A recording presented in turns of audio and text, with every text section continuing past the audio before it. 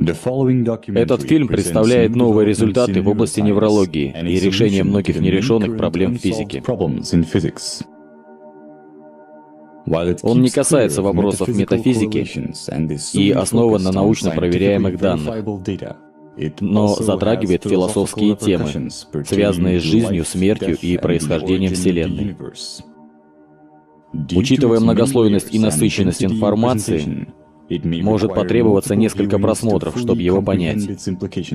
Несмотря на наши усилия, чтобы упростить сложные научные понятия.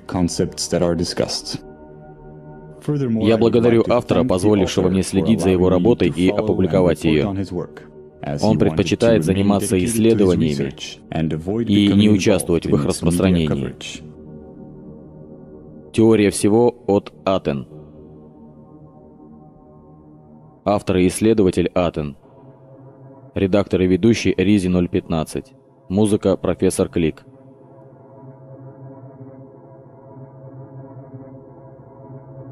Глава 1. Бог в нейронах.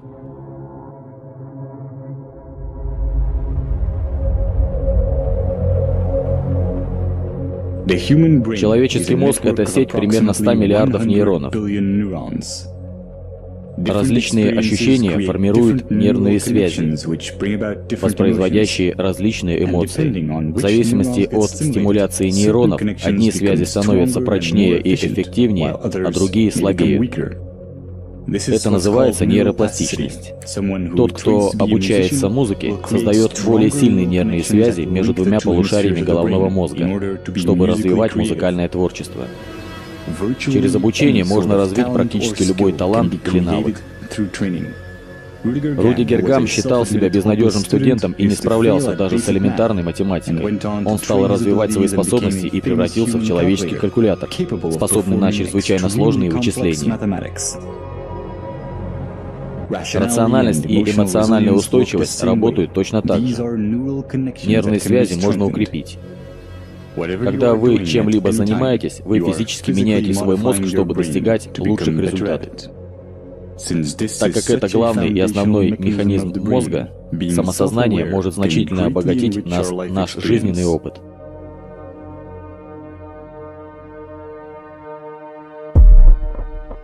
Часть первая. Социальная неврология.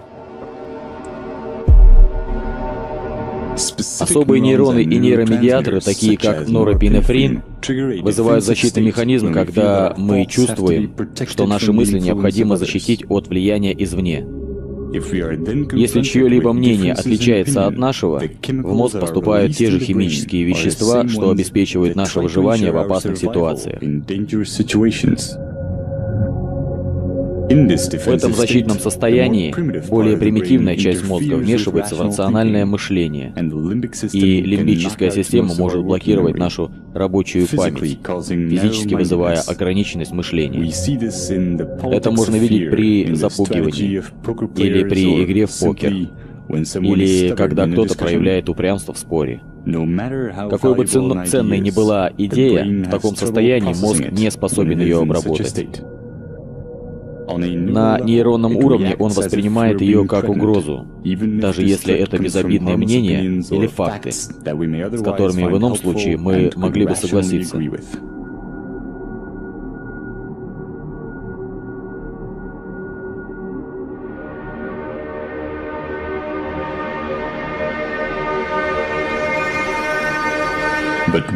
Но когда мы выражаем себя и наши взгляды ценятся, уровень защитных веществ в мозгу снижается, и передача дофамина активирует нейроны поощрения, и мы ощущаем свою силу и уверенность. Наши убеждения существенно влияют на химию нашего тела. Именно на этом основан эффект плацебо. Самооценка и уверенность в себе связаны с нейромедиатором серотонином. Сильная нехватка его часто приводит к депрессии, саморазрушительному поведению и даже самоубийству. Когда общество нас ценит, это повышает уровень дофамина и серотонина в мозге и позволяет нам освободиться от эмоциональной фиксации и повысить уровень самосознания.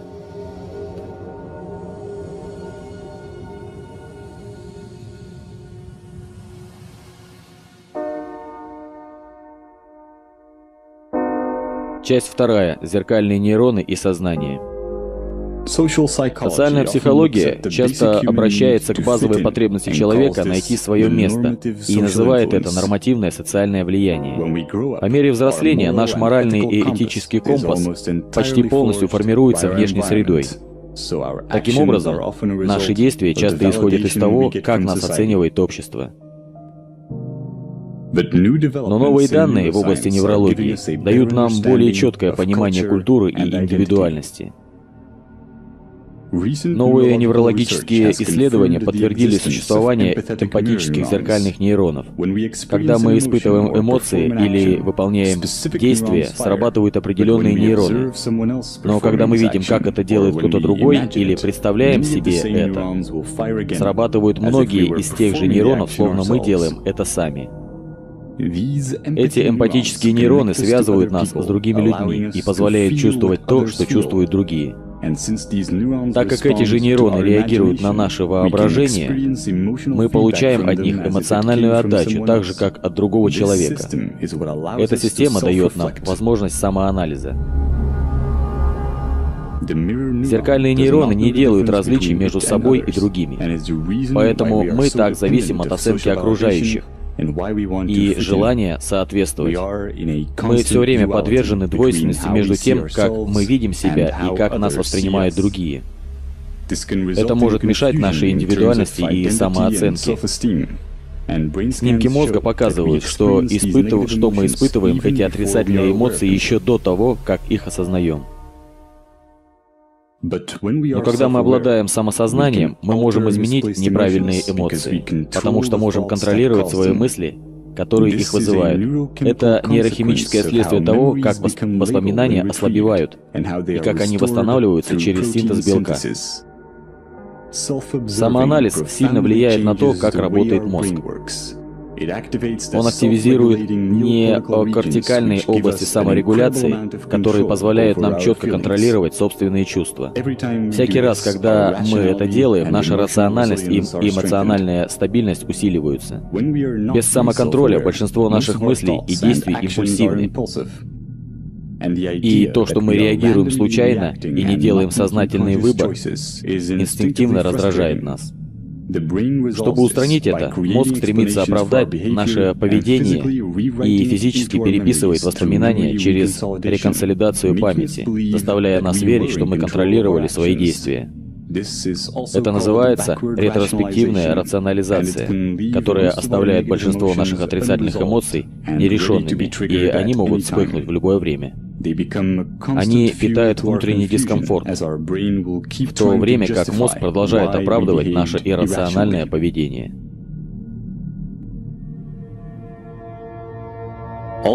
Все это сложное и почти шизофреническое поведение подсознания — работа обширных параллельно распределенных систем в нашем мозге.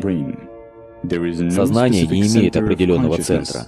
Видимое единство связано с тем, что каждая отдельная цепь активируется и проявляет себя в конкретный момент времени. Наш опыт постоянно меняет наши нервные связи, физически меняя параллельную систему нашего сознания. Прямое вмешательство в это может иметь сюрреалистические эффекты, что поднимает вопрос о том, что такое сознание и где оно расположено. Если левое полушарие мозга отделить от правого, как в случае с пациентами, перенесшими разделение мозга, вы сохраните способность говорить и думать с помощью левого полушария, в то время как познавательные способности правого полушария будут сильно ограничены. Левое полушарие не будет страдать от отсутствия правого, хотя это серьезно изменит ваше восприятие. Например, вы не сможете описать правую сторону чьего-либо лица, но вы заметите, не заметите этого, не увидите в этом проблему и даже не поймете, что что-то изменилось. Так как это затрагивает не только ваше восприятие реального мира, но и ваши мысленные образы, это не просто проблема восприятия, но фундаментальное изменение сознания.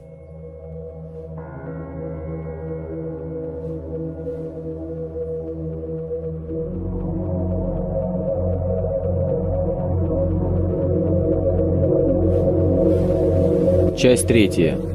Бог в нейронах. Каждый нейрон имеет электрическое напряжение, которое меняется, когда ионы проникают в клетку или покидают ее. Когда напряжение достигает определенного уровня, нейрон направляет электросигнал в другие клетки, где процесс повторяется. Когда многие нейроны испускают сигнал одновременно, мы можем измерить это в виде волны. Мозговые волны отвечают почти за все, что происходит в нашем мозгу, включая память, внимание и даже интеллект. Колебания различной частоты классифицируются как альфа, бета и гамма-волны. Каждый тип волн связан с различными задачами. Волны позволяют клеткам мозга настроиться на частоту, соответствующую задаче, игнорируя посторонние сигналы. Так же, как радиоприемник настраивается на волну радиостанции. Передача информации между нейронами становится оптимальной, когда их деятельность синхронизирована. Вот почему мы испытываем когнитивный диссонанс. Раздражение, вызванное двумя несовместимыми идеями.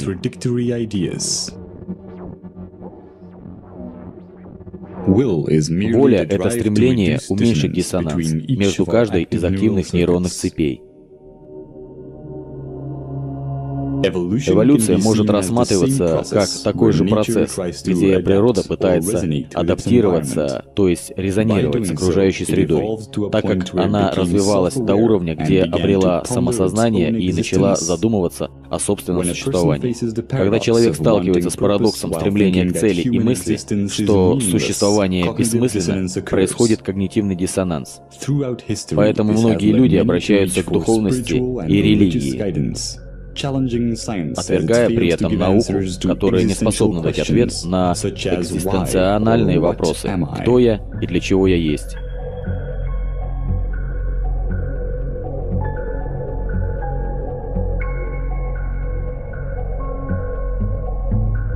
Часть четвертая. Я Атен. Зеркальные нейроны не делают различий между собой и другими.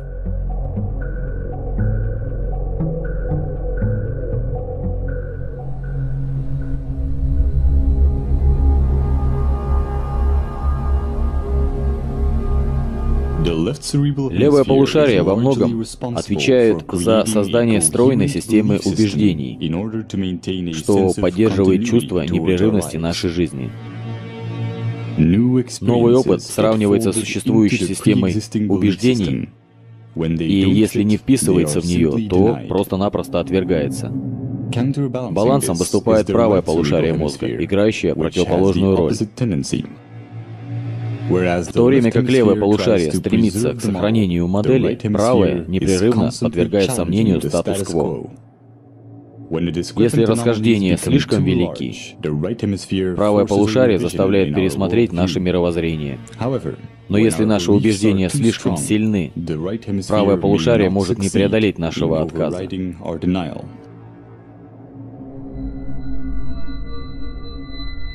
Это может создать большие сложности при отражении других. Когда нервные связи, определяющие наши убеждения, не развиты или не активны, наше сознание единства всех активных цепей заполняется деятельностью зеркальных нейронов. Это происходит так же, как когда мы голодны, наше сознание заполнено нейронными процессами, связанными с питанием. Это не результат центрального «я», отдающего команды различным областям мозга. Все части мозга могут быть активными и неактивными и взаимодействовать без центрального ядра. Так же, как пиксели на экране могут сложиться в узнаваемый образ. Группа нейронных взаимодействий может выразить себя как сознание. В любой момент мы представляем собой другой образ. Когда мы отражаем других, когда мы голодны, когда мы смотрим этот фильм, каждую секунду мы становимся другим человеком, проходя через разные состояния. Когда мы смотрим на себя через зеркальные нейроны, мы создаем идею индивидуальности. Но когда мы делаем это с научным пониманием, мы видим нечто совершенно иное — Нейронные взаимодействия, создающие наше сознание, выходят далеко за пределы наших нейронов.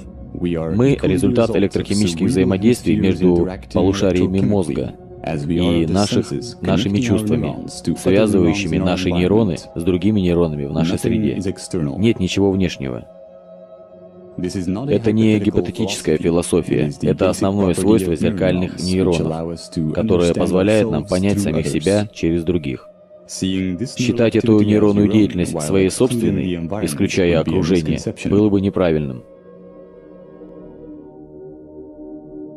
Эволюция также отражает наши стороны сверхорганизма, где наше выживание, как приматов, зависело от коллективных способностей. Со временем развились неокортикальные области, позволяющие менять инстинкты и подавлять гедонистические импульсы ради блага группы. Наши гены стали развивать взаимное социальное поведение в структурах сверхорганизма, тем самым отказавшись от идеи выживания сильнейшего. Мозг действует наиболее эффективно, когда нет диссонанса между продвинутыми областями мозга и более старыми и примитивными. То, что мы называем эгоистичными наклонностями, лишь ограниченное толкование эгоистичного поведения, когда характеристики человека воспринимаются через неверную парадигму индивидуальности, вместо научного взгляда на то, кто мы есть.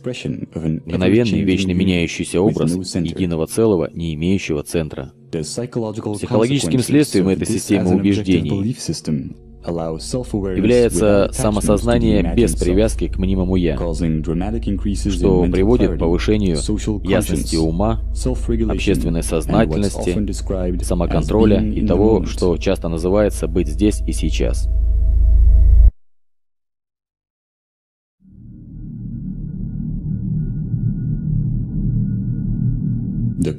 Бытует мнение, что нам необходима история — хронологический взгляд на нашу жизнь, чтобы формировать моральные ценности.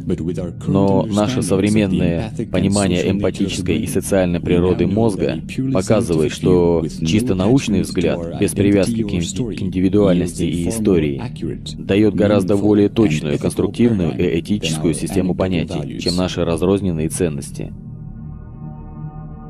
Это логично, потому что наша обычная склонность определять себя как воображаемую индивидуальную константу толкает мозг к когнитивным расстройствам, таким, например, как навязчивые стереотипы и потребность возлагать ожидания.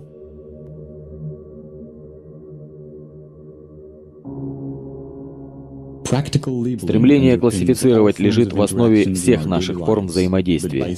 Но классифицируя эго как внутреннее, а среду как внешнее, мы ограничиваем собственные нейрохимические процессы и испытываем мнимое чувство разобщенности.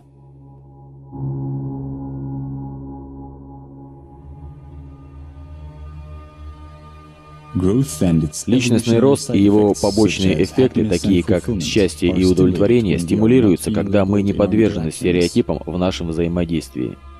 Мы можем иметь различные взгляды и не соглашаться друг с другом. Но взаимодействия, которые принимают нас такими, как есть, без осуждения, становятся нейропсихологическими катализаторами, которые стимулируют мозг принимать других и принимать рационально доказуемые системы убеждений без когнитивного диссонанса. Стимуляция этой нейронной деятельности и взаимодействия освобождает от нужды в отвлекающих факторах и развлечениях и создает циклы конструктивного поведения в нашей среде. Социологи обнаружили, что такие явления, как курение и переедание, эмоции и идеи распространяются в обществе так же, как передаются электрические сигналы нейронов, когда их деятельность синхронизирована. Мы — глобальная сеть нейрохимических реакций — саморазвивающийся цикл оценки и признания, поддерживаемый ежедневными решениями. Это цепная реакция, которая в конечном итоге определяет нашу коллективную способность преодолеть мнимые разногласия и взглянуть на жизнь в ее вселенской структуре.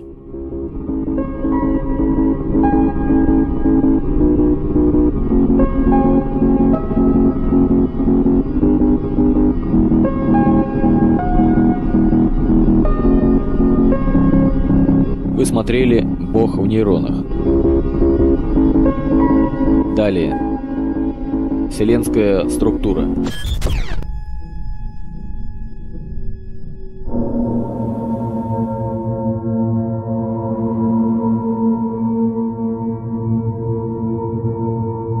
Глава вторая. Вселенская структура.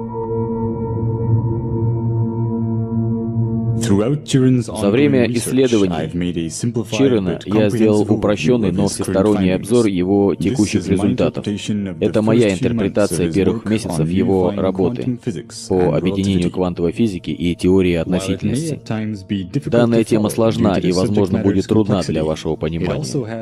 Также она содержит некоторые философские выводы, которые будут затронуты в эпилоге. За последнее столетие было много поразительных достижений, которые привели к изменению научной системы понимания мира. Теория относительности Эйнштейна показала, что время и пространство образуют единую ткань, а Нильс Бор выявил базовые компоненты вещества благодаря квантовой физике, области, которая существует только как абстрактное физическое описание. После этого Луи де Броль открыл, что все вещество, а не только фотоны и электроны, обладает квантовым корпускулярно-волновым дуализмом. Это привело к появлению новых школ мысли о природе реальности, а также популярных метафизических и псевдонаучных теорий. Например, что человеческий разум может управлять Вселенной через позитивное мышление. Эти теории привлекательны, но они не поддаются проверке и могут препятствовать научному прогрессу.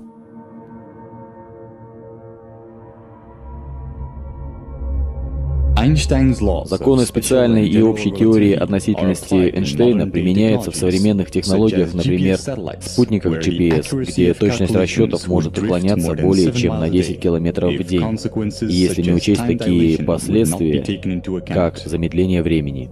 То есть для движущихся часов время идет медленнее, чем для неподвижных. Другие эффекты теории относительности — это сокращение длины для движущихся объектов и относительность времени, одновременности, из-за чего невозможно с точностью утверждать, что два события происходят в одно и в то же время, если они разделены в пространстве. Ничто не движется быстрее скорости света. Это означает, что если трубу длиной 10 световых секунд толкнуть вперед, пройдет 10 секунд, прежде чем действие произойдет на другой стороне. Без интервала времени в 10 секунд труба не существует в полном объеме. Дело не в ограниченности наших наблюдений, а в прямом следствии теории относительности — где время и пространство взаимосвязаны. И одно не может существовать без другого. Квантовая физика дает математическое описание многих вопросов корпускулярно-волнового дуализма и взаимодействия энергии и материи. Она отличается от классической физики прежде всего на атомном и субатомном уровне. Эти математические формулировки абстрактны, и их выводы часто неинтуитивны.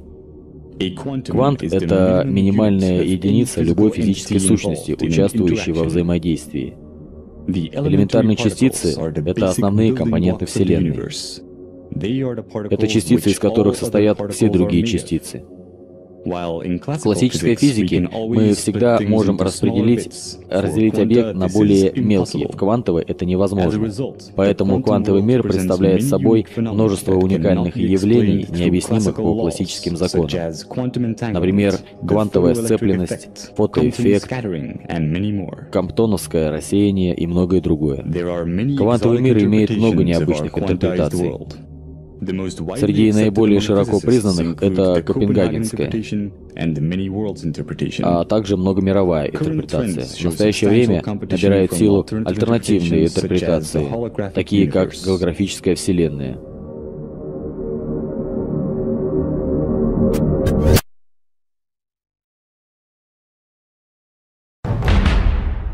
Часть первая. Уравнение Дебройля.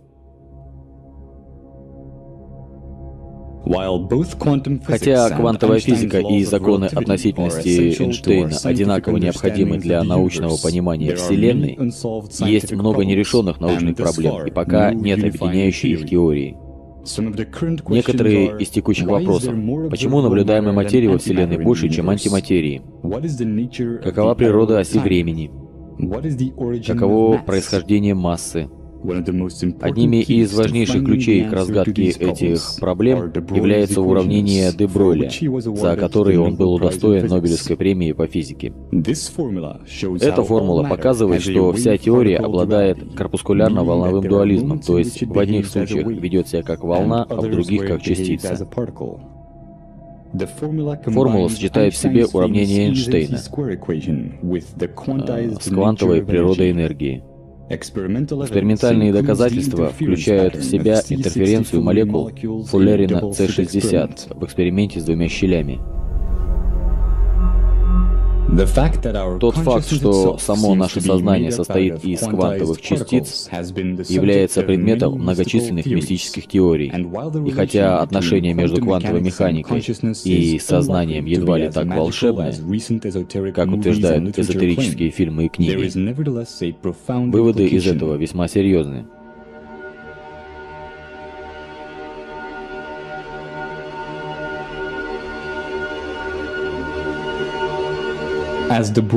Так как уравнение де Броля применяется ко всей материи, мы можем утверждать, что C равно H на F, где C — сознание, H — постоянная планка и F — частота. C отвечает за то, что мы воспринимаем как сейчас, квантовая, то есть минимальная единица взаимодействия. Сумма всех моментов Си, вплоть до текущего момента, это то, что формирует наше видение жизни. Это не философское или теоретическое утверждение, а прямое следствие квантовости всей материи и энергии. Формула показывает, что жизнь и смерть являются абстрактными совокупностями Си. Другое следствие уравнений де Бройля в том, что темп колебания материи и энергии и поведение ее как волны или частицы. зависит от частоты системы отсчета. Повышение частоты из-за скорости соотносится с другими и приводит к таким явлениям, как замедление времени. Причина этого в том, что восприятие времени не меняется относительно системы отсчета где пространство и время — это свойство квантов, а не наоборот.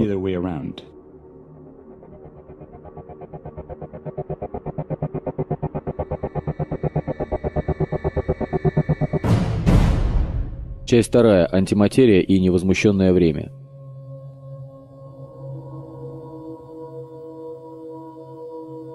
Большой андронный коллайдер, Швейцария.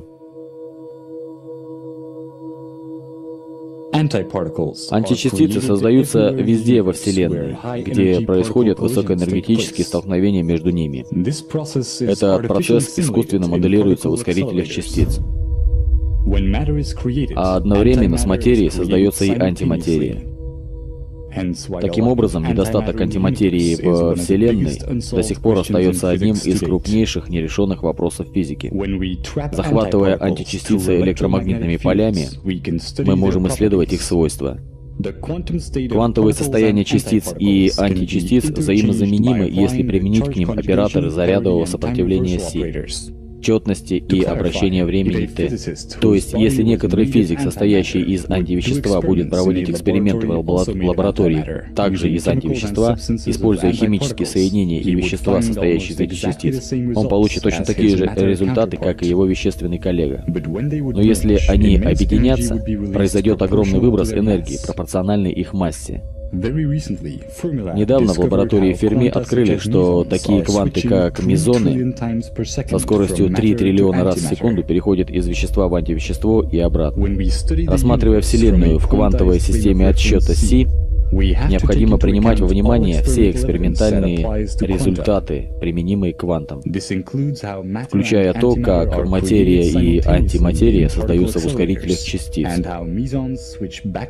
и как мезоны переходят из одного состояния в другое. Применительно к Си это имеет серьезные последствия. С квантовой точки зрения, каждое мгновение Си имеет и анти-Си. Это объясняет отсутствие симметрии, то есть антивещества во Вселенной, и также связано с произвольным выбором излучателя и поглотителя в теории поглощения Уиллера Феймана. Невозмущенное время T, в принципе, неопределенности — это время или цикл, необходимый для существования квантов. Так же, как в случае мезонов, границы нашего личного восприятия времени, то есть диапазона текущего момента, является переход Си в анти-Си. Этот момент самоаннигиляции и его толкование заключены в рамки абстрактной оси времени. Если определить взаимодействие и рассмотреть основные свойства корпускулярно-волнового дуализма кванта, все взаимодействия состоят из интерференции и резонанса. Но так как этого недостаточно, чтобы объяснить фундаментальные силы, необходимо использовать различные модели. Это включает э, стандартную модель, которая выступает посредником между динамикой известных субатомных частиц через носители силы и общей теорией относительности, которая описывает макроскопические явления, такие как орбиты планет, которые следуют эллипсу в пространстве и спирали в пространстве времени. Но модель Эйнштейна не применима на квантовом уровне и стандартная модель нуждается в дополнительных носителях силы, чтобы объяснить происхождение массы. Объединение двух моделей или теория всего является предметом многих пока безуспешных исследований. Часть третья. Теория всего.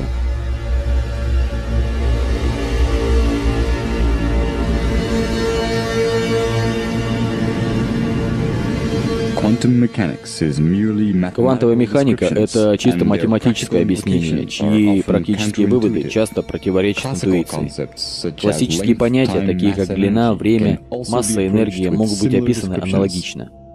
Опираясь на уравнение де Бройля, мы сможем заменить эти понятия на абстрактные векторы. Этот вероятностный подход к основным существующим концепциям э, физики позволяет объединить квантовую механику с теорией относительности Эйнштейна. Уравнения де Броля показывают, что все системы отсчета являются квантовыми, включая всю материю и энергию. Ускорители частиц показали, что материя и антиматерия всегда создаются одновременно. Парадокс того, как реальность появляется из абстрактных взаимоуничтожаемых компонентов, можно объяснить, используя кванты в качестве системы отсчета.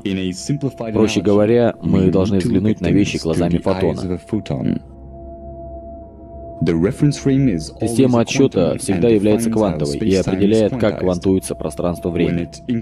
Когда система увеличивается или уменьшается, то же самое происходит в пространстве-времени. В квантовой механике это математически описывается как амплитуда вероятности волновой функции, а в теории Эйнштейна как замедление времени и сокращение длины. Для квантовой системы отсчета масса и энергия могут быть, могут быть определены как абстрактные вероятности, или, если быть более конкретными и создать математическую основу, как векторы, существующие только тогда, когда мы предполагаем ось времени. Они могут определяться как интерференция или резонанс системы отсчета, которая определяет минимальную единицу или пространственно-временную константу Си, эквивалентную постоянной Планка в квантовой механике. Эксперименты показывают, что преобразование материи в энергию через антиматерию порождает гамма-лучи с противоположным импульсом. То, что кажется преобразованием, является соотношением между противоположными векторами интерпретируемыми как расстояние и время, материя и антиматерия, масса и энергия, или интерференция и резонанс в пределах абстрактной оси времени Си. Сумма противоположных векторов всегда равна нулю. Именно это является причиной симметрии или законов сохранения физики, или того, почему при скорости c время и пространство равны нулю из-за сокращения длины и замедления времени. Следствием этого является принцип неопределенности Гейзенберга, который показал, что некоторые пары физических свойств, например, положение и импульс, нельзя знать одновременно с высокой точностью. В некотором смысле отдельная частица является собственным полем. Это не объясняет наше чувство непрерывности, где Си уничтожает само себя в пределах собственного необходимого диапазона. Но когда эти векторы экспоненционально усилены или ускорены относительно оси времени и в ее пределах, основные математические алгоритмы, описывающие фундаментальные силы, могут породить непрерывную реальность из абстрактных компонентов. Поэтому уравнение гармонического движения используется во многих областях физики, касающихся периодических явлений, например, в квантовой механике и электродинамике. И поэтому принцип эквивалентности Эйнштейна, из которого выводится модель пространства-времени, утверждает, что нет никакой разницы между гравитацией и ускорением, потому что гравитация является силой только при рассмотрении ее в колеблющейся системе отсчета. Это иллюстрирует логарифмическая спираль, которая сводится к винтовой спирали в системе отсчета, заставляющей объекты вращаться и двигаться по орбитам. Для примера, два растущих яблока в растущей системе отсчета выглядят словно они притягивают друг друга, в то же время как размер кажется неизменным. Противоположное возникает при интерференции. Проще говоря, увеличение или уменьшение размера объектов по мере нашего приближения приближения или отдаления определяется смещением системы отсчета. Например, как радио, которое настраивается на различные волны, чтобы поймать радиостанцию. Это также применимо к их силе тяжести. По сути, независимо от любой системы отсчета, фундаментальных сил не существует. Все взаимодействия в нашей абстрактной непрерывности можно математически описать через интерференцию и резонанс, если принята во внимание вечно меняющиеся и колеблющиеся минимальные единицы или квант. Экспериментальное доказательство включает невидимый эффект стандартной модели, когда мы видим действие сил, но не носители силы.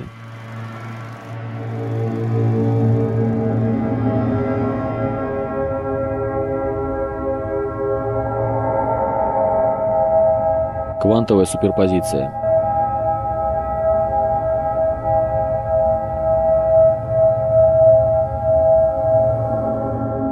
Непрерывность реальности не требует, чтобы кванты имели последовательность во времени.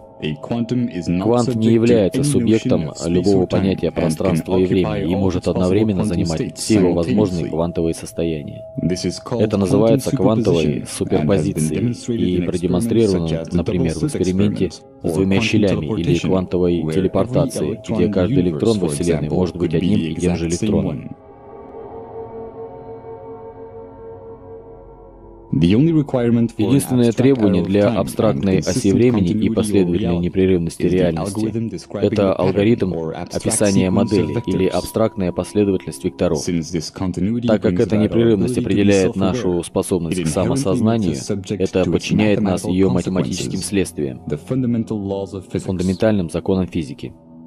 Взаимодействие — это просто толкование абстрактной модели. Именно поэтому квантовая механика дает только математические описания. Она может лишь описать модели внутри бесконечных вероятностей. Когда вероятность выражается как C, информация, необходимая для описания текущего момента, или вероятностный диапазон C, также воплощает собой ось времени.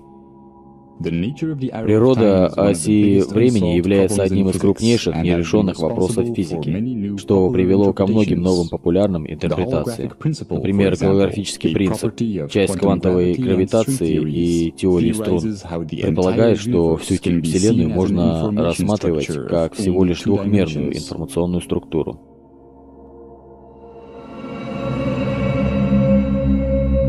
Время.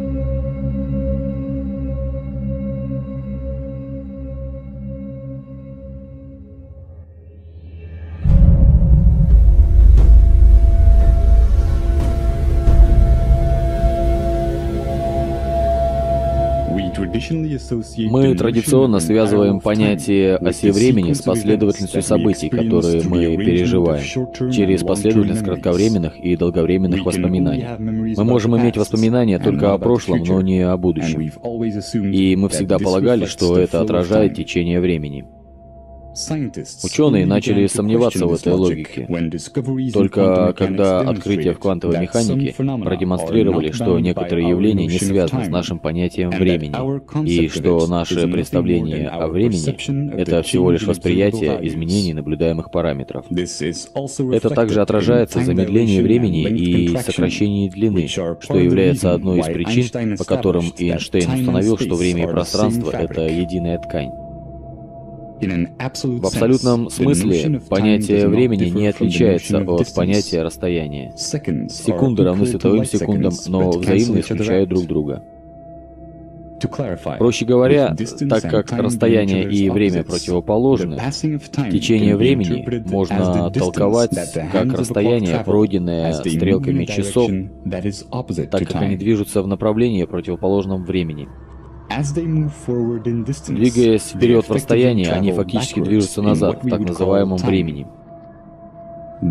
Именно поэтому каждая минимальная единица опыта немедленно поглощается вечным сейчас. Это толкование устраняет разногласия между коллапсом волновой функции и квантовой текогенерацией. Такие понятия, как жизнь и смерть, это чистые интеллектуальные конструкции. И любые религиозные рассуждения о загробной жизни, происходящие в мире, не подвластны математическим законам этой реальности, также вымышлены. Еще одно важное следствие в том, что теория Большого Взрыва, где Вселенная происходит из одной точки, это само по себе является недоразумением. Традиционное представление пространства-времени, где пространство является трехмерным, а время играет роль четвертого измерения, неправильно. Если мы хотим изучить происхождение Вселенной, мы должны смотреть вперед, так как вектор времени c противоположен вектору расстояния, с которого мы воспринимаем расширяющуюся Вселенную. Хотя эта временная карта Вселенной даст лишь абстрактные понятия без учета ее квантовой основы. Экспериментальные доказательства включают ускорение, расширение Вселенной, а также обратную или регрессивную метрику черных дыр и многие проблемы, связанные с теорией Большого Взрыва, например, проблема горизонта.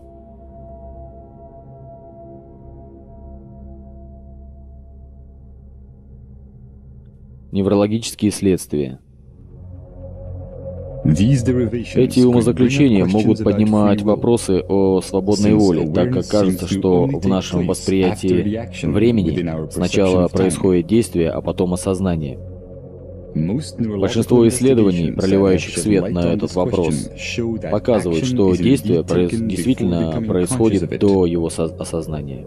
Но детерминистская точка зрения опирается на ошибочное представление о времени, что показывают математические описания вероятности в квантовой механике. Эти толкования будут важны для будущих неврологических исследований, так как они показывают, что любая нейронная цепь — это вектор, определяющий когнитивный диссонанс и интерференцию или резонанс в Си. Способность понимать и сознательно изменять эти векторы, обретенные за миллиарды лет эволюции, подтверждает, насколько важны наши системы убеждений для расширения нашего сознания и как они влияют на нашу рабочую память, которая отвечает за нашу способность устанавливать связи и за нервные процессы, которые формируют смысл. Это также объясняет, что для искусственного сознания потребуется сеть независимых процессоров, а не линейная последовательность сложных алгоритмов. Ограниченное толкование. Единая теория атома является решением, объединяющим квантовую физику и теорию относительности. Хотя она отвечает на многие вопросы физики, перечисленные здесь, это мое ограниченное толкование первых месяцев его научного исследования. Независимо от итогов, становится ясно, что мы вступили в эпоху, в которой наука открыта для всех. И если мы сохраним доступность и нейтральность интернета, Мы сможем проверить правильность наших идей, развивать наше воображение, создавая новые взаимосвязи, и мы можем продолжить э, развитие нашего понимания Вселенной и разума.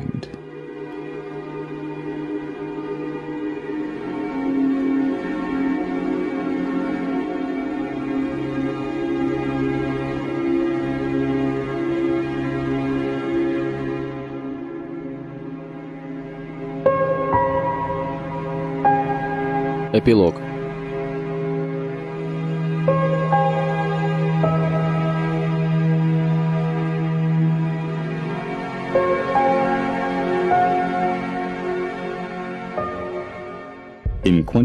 Квантовой механике мы научились другому подходу к реальности и рассматривали все как вероятности, а не как неопределенности. В математическом смысле все возможно. Как в науке, так и в нашей повседневной жизни наша способность вычислять или угадывать вероятности определяется нашей интеллектуальной способностью распознавать закономерности. Чем более мы открыты, тем более четко мы можем видеть эти закономерности и основывать свои действия на разумной вероятности. Так как в саму природу нашего левого полушария заложено отрицание идей, которые не вписываются в наши текущие взгляды, чем более привязаны мы к своим убеждениям, тем менее мы способны сделать сознательный выбор для себя. Но контролируя этот процесс, мы расширяем свое самосознание и увеличиваем свободную волю. Говорят, что мудрость приходит с возрастом, но с открытостью и скептицизмом ключевыми научными принципами. нам не нужны десятилетия проб и ошибок, чтобы определить, какие из наших убеждений могут быть неправильны. Вопрос не в том, верны ли наши убеждения или нет, а в том, принесет пользу или вред наша эмоциональная привязанность к ним. Свободного выбора не существует, пока мы эмоционально привязаны к системе убеждений. Как только у нас будет достаточно самосознания, чтобы понять это, мы сможем работать вместе, чтобы понять вероятности того, что на самом деле принесет нам наибольшую пользу.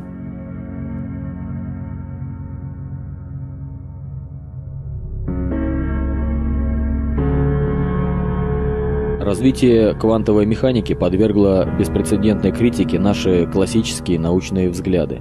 Самосознание и готовность пересмотреть свои гипотезы, которые постоянно подвергаются испытанию наукой и человечеством, будут определять степень, в которой мы достигнем более глубокого понимания разума и Вселенной.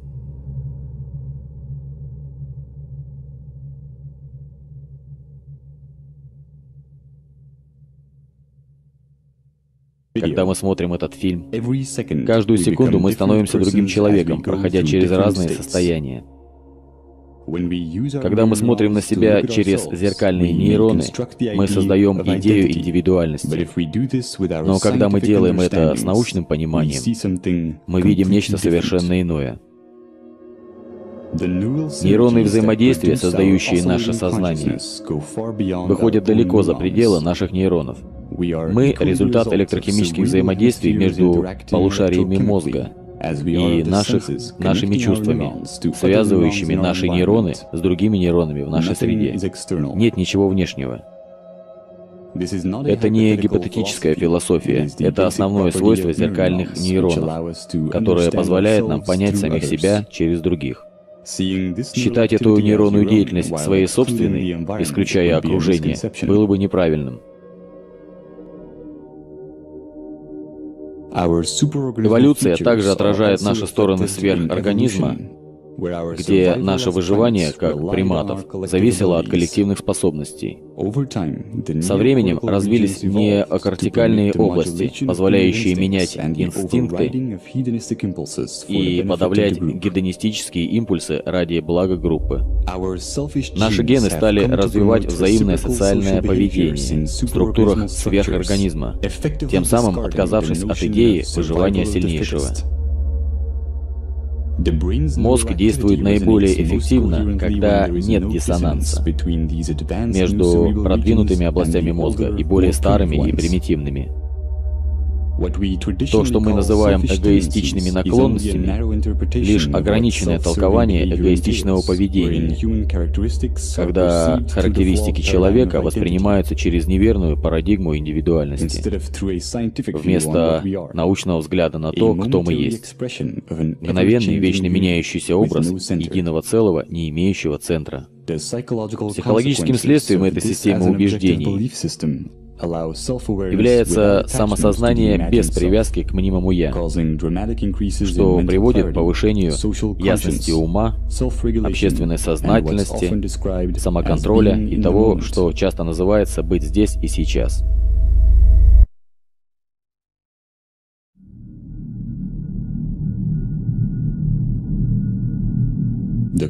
Бытует мнение, что нам необходима история, хронологический взгляд на нашу жизнь, чтобы формировать моральные ценности.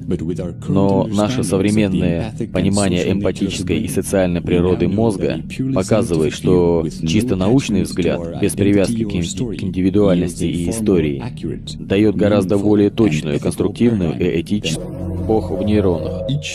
Каждый нейрон имеет электрическое напряжение, которое меняется, когда ионы проникают в клетку или покидают ее. Когда напряжение достигает определенного уровня, нейрон направляет электросигнал в другие клетки, где процесс повторяется. Когда многие нейроны испускают сигнал одновременно, мы можем измерить это в виде волны. Мозговые волны отвечают почти за все, что происходит в нашем мозгу, включая память, внимание и даже интеллект. Колебания различной частоты классифицируются как альфа, бета и гамма волны.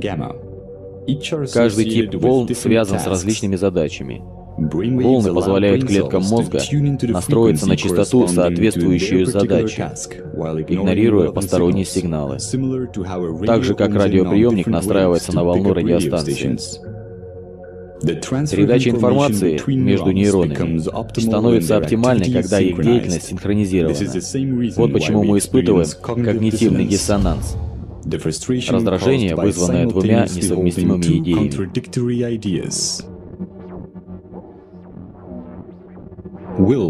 Воля — это стремление уменьшить диссонанс между каждой из активных нейронных цепей.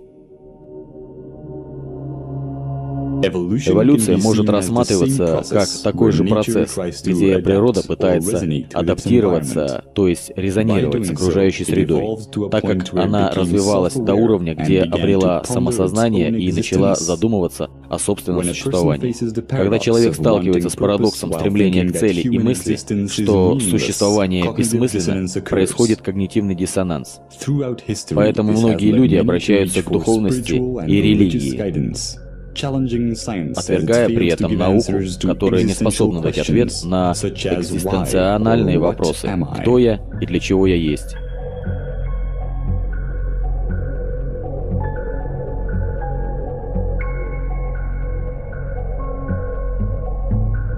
Часть четвертая. Я Атен. Зеркальные нейроны не делают различий между собой и другими.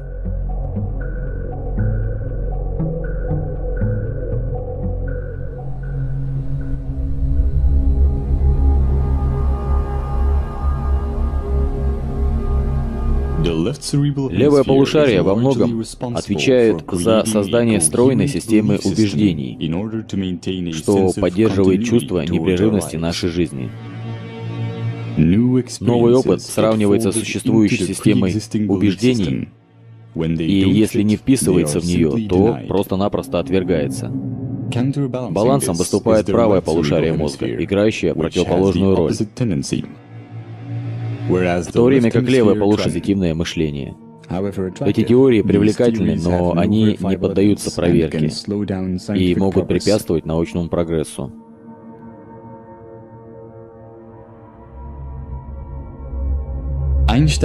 Законы специальной и общей теории относительности Эйнштейна применяются в современных технологиях, например, спутниках GPS, где точность расчетов может уклоняться более чем на 10 километров в день, и если не учесть такие последствия, как замедление времени. То есть для движущихся часов время идет медленнее, чем для неподвижных. Другие эффекты теории относительности — это сокращение длины для движущихся объектов и относительность времени, одновременности, из-за чего невозможно с точностью утверждать, что два события происходят в одно и в то же время, если они разделены в пространстве. Ничто не движется быстрее скорости света. Это означает, что если трубу длиной 10 световых секунд толкнуть вперед, пройдет 10 секунд, прежде чем действие произойдет на другой стороне. Без интервала времени в 10 секунд труба не существует в полном объеме. Дело не в ограниченности наших наблюдений, а в прямом следствии теории относительности — где время и пространство взаимосвязаны. И одно не может существовать без другого. Квантовая физика дает математическое описание многих вопросов корпускулярно-волнового дуализма и взаимодействия энергии и материи. Она отличается от классической физики прежде всего на атомном и субатомном уровне. Эти математические формулировки абстрактны, и их выводы часто неинтуитивны. Квант — это минимальная единица любой физической сущности, участвующей во взаимодействии. Элементарные частицы — это основные компоненты Вселенной. Это частицы, из которых состоят все другие частицы. В классической физике мы всегда можем распределить, разделить объект на более мелкие. В квантовой это невозможно. Поэтому квантовый мир представляет собой множество уникальных явлений, необъяснимых по классическим законам. Например, квантовая сцепленность, фотоэффект, комптоновское рассеяние и многое другое. Квантовый мир имеет много необычных интерпретаций. Среди наиболее широко признанных это Копенгагенская, а также многомировая интерпретация. В настоящее время набирают силу альтернативные интерпретации, такие как голографическая вселенная.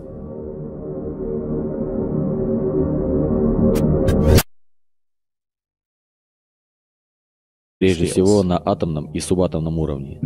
Эти математические формулировки абстрактны, и их выводы часто неинтуитивны. Квант — это минимальная единица любой физической сущности, участвующей во взаимодействии. Элементарные частицы — это основные компоненты Вселенной. Это частицы, из которых состоят все другие частицы. В классической физике мы всегда можем распределить, разделить объект на более мелкие. В квантовой это невозможно. Поэтому квантовый мир представляет собой множество уникальных явлений, необъяснимых по классическим законам. Например, квантовая сцепленность, фотоэффект, комптоновское рассеяние и многое другое. Квантовый мир имеет много необычных интерпретаций. Среди наиболее широко признанных это Копенгагенская, а также многомировая интерпретация. В настоящее время набирают силу альтернативные интерпретации, такие как голографическая вселенная.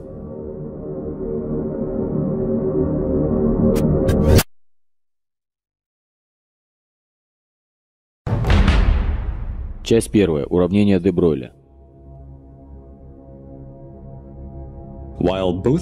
Хотя квантовая физика и законы относительности Эйнштейна одинаково необходимы для научного понимания Вселенной, есть много нерешенных научных проблем, и пока нет объединяющей их теории. Некоторые из текущих вопросов. Почему наблюдаемой материи во Вселенной больше, чем антиматерии? Какова природа оси времени? Каково происхождение массы? Одними из важнейших ключей к разгадке этих проблем является уравнение де Бройля, за которое он был удостоен Нобелевской премии по физике. Эта формула показывает, что вся теория обладает корпускулярно-волновым дуализмом, то есть в одних случаях ведет себя как волна, а в других как частица. Формула сочетает в себе уравнение Эйнштейна э, с квантовой природой энергии. Экспериментальные доказательства включают в себя интерференцию молекул фуллерина C60 в эксперименте с двумя щелями. Тот факт, что само наше сознание состоит из квантовых частиц, является предметом многочисленных мистических теорий. И хотя отношения между квантовой механикой и сознанием едва ли так волшебны, как утверждают эзотерические фильмы и книги, выводы из этого весьма серьезны.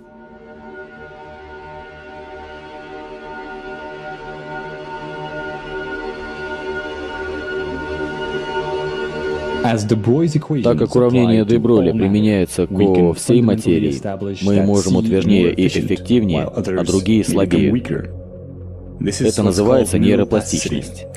Тот, кто обучается музыке, создает более сильные нервные связи между двумя полушариями головного мозга, чтобы развивать музыкальное творчество. Через обучение можно развить практически любой талант или навык.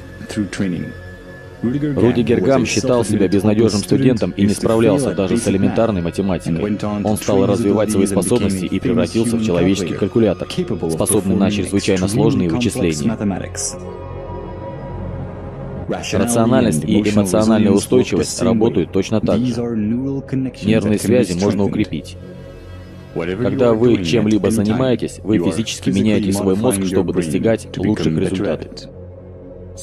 Так как это главный и основной механизм мозга, самосознание может значительно обогатить нас, наш жизненный опыт.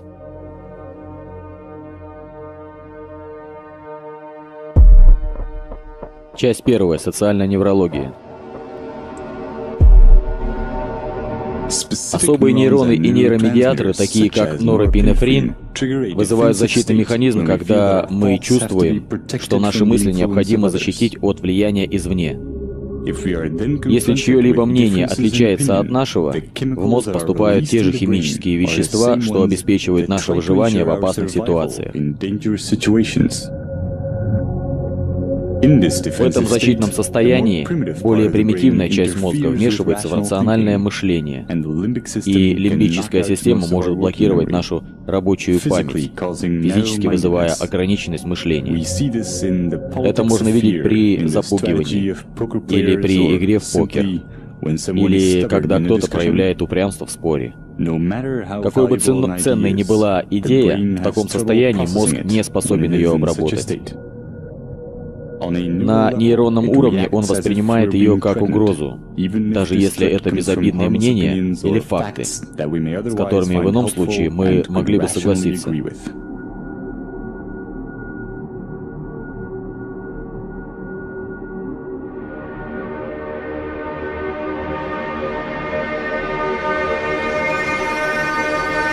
Но когда мы выражаем себя и наши взгляды ценятся, уровень защитных веществ в мозгу снижается, и передача дофамина активирует нейроны поощрения, и мы ощущаем свою силу и уверенность.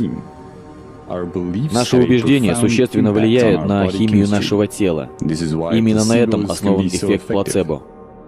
Самооценка и уверенность в себе связаны с нейромедиатором серотонином. Сильная нехватка его часто приводит к депрессии, саморазрушительным.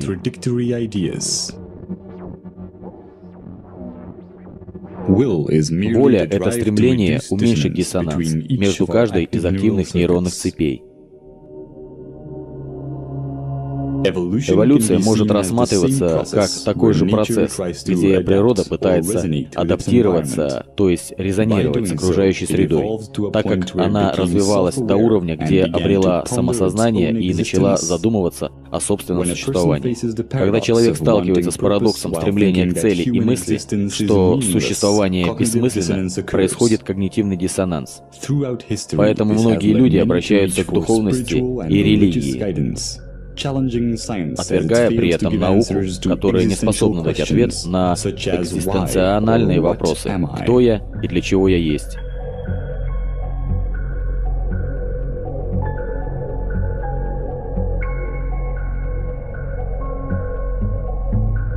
Часть четвертая. Я Атен. Зеркальные нейроны не делают различий между собой и другими.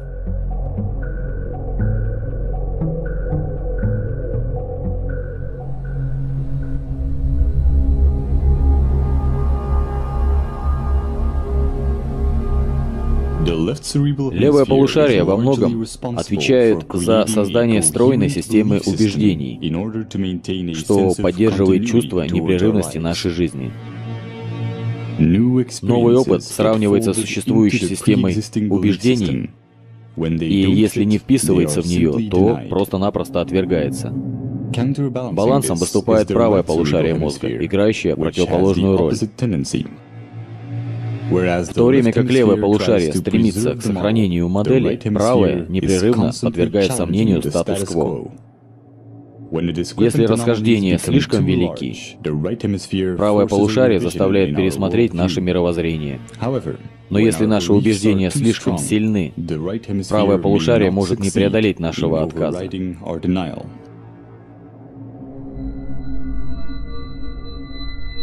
Это может создать большие сложности при отражении других.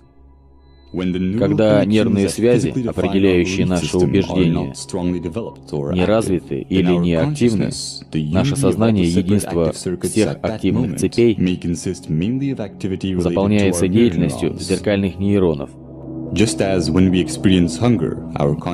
происходит так же, как когда мы голодны, наше сознание заполнено нейронными процессами, связанными с питанием. Это не результат центрального «я», отдающего команды различным областям мозга. Все части мозга могут быть активными и неактивными и взаимодействовать без центрального ядра. Левое полушарие не будет страдать от отсутствия правого, хотя это серьезно изменит ваше восприятие. Например, вы не сможете описать правую сторону чьего-либо лица, но вы заметите, не заметите этого, не увидите в этом проблему и даже не поймете, что что-то изменилось. Так как это затрагивает не только ваше восприятие реального мира, но и ваши мысленные образы, это не просто проблема восприятия, но фундаментальное изменение сознания.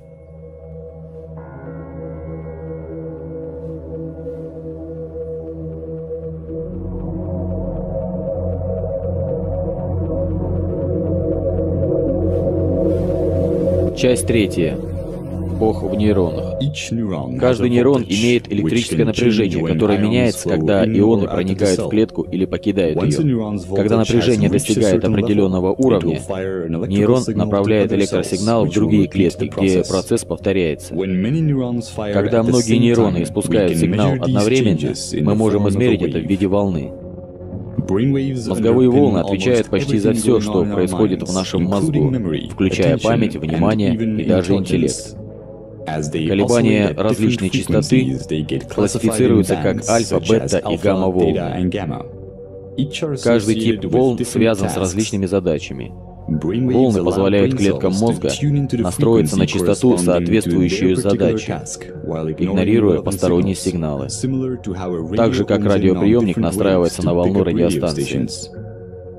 Передача информации между нейронами становится оптимальной, когда их деятельность синхронизирована. Вот почему мы испытываем когнитивный диссонанс. Раздражение, вызванное двумя несовместимыми идеями.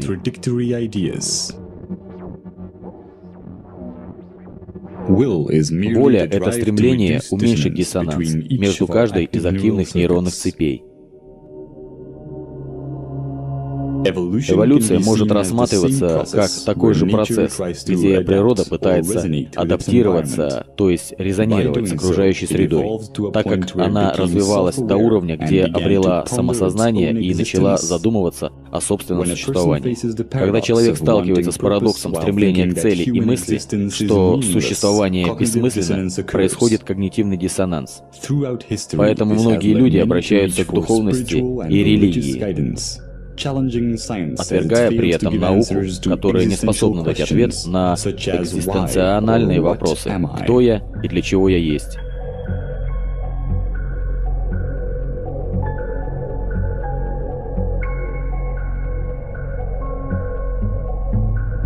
Часть четвертая. Я атом. Бытует мнение, что нам необходима история, хронологический взгляд на нашу жизнь, чтобы формировать моральные ценности. Но наше современное понимание эмпатической и социальной природы мозга показывает, что чисто научный взгляд, без привязки к индивидуальности и истории, дает гораздо более точную, конструктивную и этическую систему понятий, чем наши разрозненные ценности. Это логично, потому что наша обычная склонность определять себя как воображаемую индивидуальную константу толкает мозг к когнитивным расстройствам. Таким, например, как навязчивые стереотипы и потребность возлагать ожидания.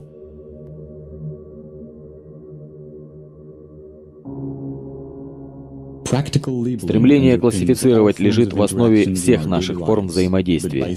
Но классифицируя эго как внутреннее, а среду как внешнее, мы ограничиваем собственные нейрохимические процессы и испытываем мнимое чувство разобщенности.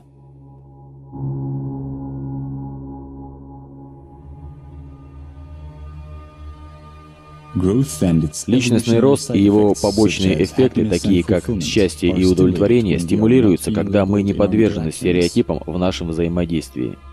Мы можем иметь различные взгляды и не соглашаться друг с другом.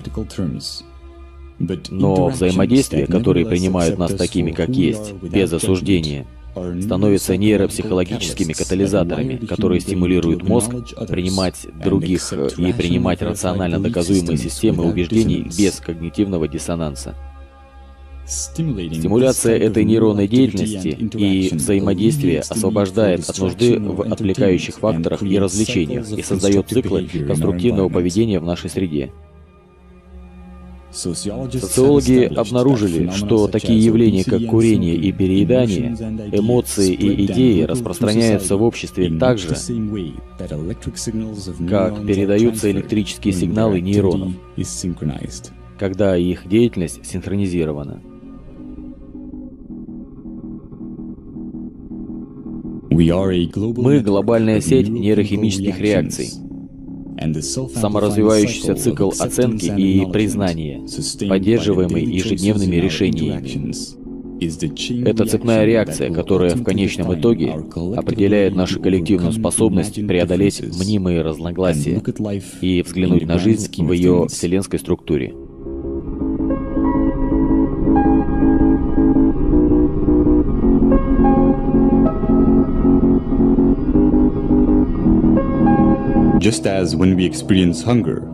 Это происходит так же, как когда мы голодны, наше сознание заполнено нейронными процессами, связанными с питанием. Это не результат центрального «я», отдающего команды различным областям мозга. Все части мозга могут быть активными и неактивными и взаимодействовать без центрального ядра. Так же, как пиксели на экране могут сложиться в узнаваемый образ. Группа нейронных взаимодействий может выразить себя как сознание.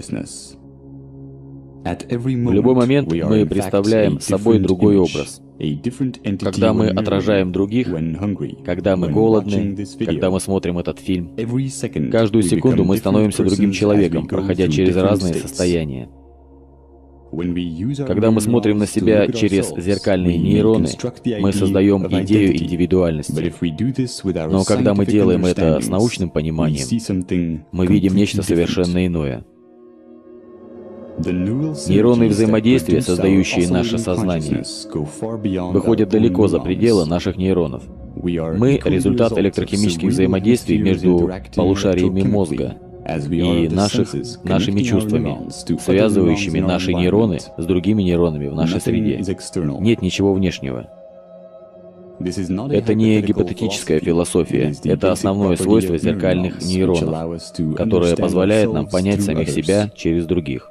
Считать эту нейронную деятельность своей собственной, исключая окружение, было бы неправильным. Эволюция также отражает наши стороны сверхорганизма, где наше выживание, как приматов, зависело от коллективных способностей. Со временем развились неокортикальные области, позволяющие менять инстинкты и подавлять гедонистические импульсы ради блага группы. Наши гены стали развивать взаимное социальное поведение в структурах сверхорганизма, тем самым отказавшись от идеи выживания сильнейшего. Мозг действует наиболее эффективно, когда нет диссонанса между продвинутыми областями мозга и более старыми и примитивными. То, что мы называем эгоистичными наклонностями, лишь ограниченное толкование эгоистичного поведения, когда характеристики человека воспринимаются через неверную парадигму индивидуальности, вместо научного взгляда на то, кто мы есть. Мгновенный, вечно меняющийся образ единого целого, не имеющего центра. Психологическим следствием этой системы убеждений является самосознание без привязки к... Применительно к Си это имеет серьезные последствия. С квантовой точки зрения, каждое мгновение Си имеет и анти-Си. Это объясняет отсутствие симметрии, то есть антивещества во Вселенной, и также связано с произвольным выбором излучателя и поглотителя в теории поглощения Уиллера Феймана. Невозмущенное время T, в принципе, неопределенности — это время или цикл, необходимый для существования квантов. Так же, как в случае мезонов, границы нашего личного восприятия времени, то есть диапазона текущего момента, является переход Си в анти-Си. Этот момент самоаннигиляции и его толкование заключены в рамки абстрактной оси времени. Если определить взаимодействие и рассмотреть основные свойства корпускулярно-волнового дуализма кванта, все взаимодействия состоят из интерференции и резонанса. Но так как этого недостаточно, чтобы объяснить фундаментальные силы, необходимо использовать различные модели.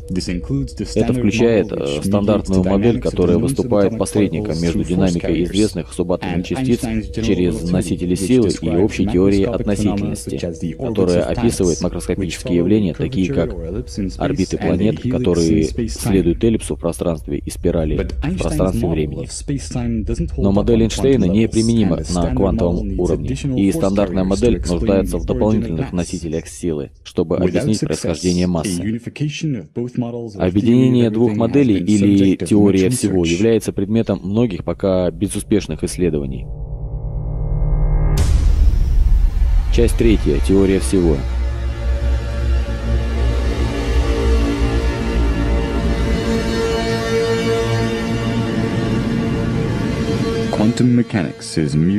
Квантовая механика — это чисто математическое объяснение, чьи практические выводы часто противоречат интуиции. Классические понятия, такие как длина, время, масса, энергия, могут быть описаны аналогично. Опираясь на уравнение де Бройля, мы сможем заменить эти понятия на абстрактные векторы. Этот вероятностный подход к основным существующим концепциям э, физики позволяет объединить квантовую механику с теорией относительности Эйнштейна. Уравнения де Броля показывают, что все системы отсчета являются квантовыми, включая всю материю и энергию. Ускорители частиц показали, что материя и антиматерия всегда создаются одновременно. Парадокс того, как реальность появляется из абстрактных взаимоуничтожаемых компонентов, можно объяснить, используя кванты в качестве системы отсчета. Проще говоря, мы должны взглянуть на вещи глазами фотона. Квантовая физика дает математическое описание многих вопросов корпускулярно-волнового дуализма и взаимодействия энергии и материи. Она отличается от классической физики прежде всего на атомном и субатомном уровне. Эти математические формулировки абстрактные, и их выводы часто неинтуитивны. Квант — это минимальная единица любой физической сущности, участвующей во взаимодействии. Элементарные частицы — это основные компоненты Вселенной. Это частицы, из которых состоят все другие частицы. В классической физике мы всегда можем распределить, разделить объект на более мелкие. В квантовой это невозможно. Поэтому квантовый мир представляет собой множество уникальных явлений, необъяснимых по классическим законам. Например, квантовая сцепленность, фотоэффект, комптоновское рассеяние и многое другое. Квантовый мир имеет много необычных интерпретаций. Среди наиболее широко признанных это Копенгагенская, а также многомировая интерпретация. В настоящее время набирают силу альтернативные интерпретации, такие как голографическая вселенная.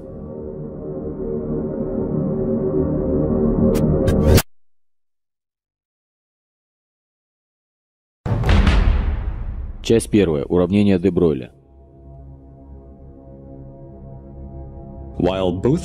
Хотя квантовая физика и законы относительности Эйнштейна одинаково необходимы для научного понимания Вселенной, есть много нерешенных научных проблем, и пока нет объединяющей их теории. Некоторые из текущих вопросов. Почему наблюдаемой материи во Вселенной больше, чем антиматерии? Какова природа оси времени? Каково происхождение массы?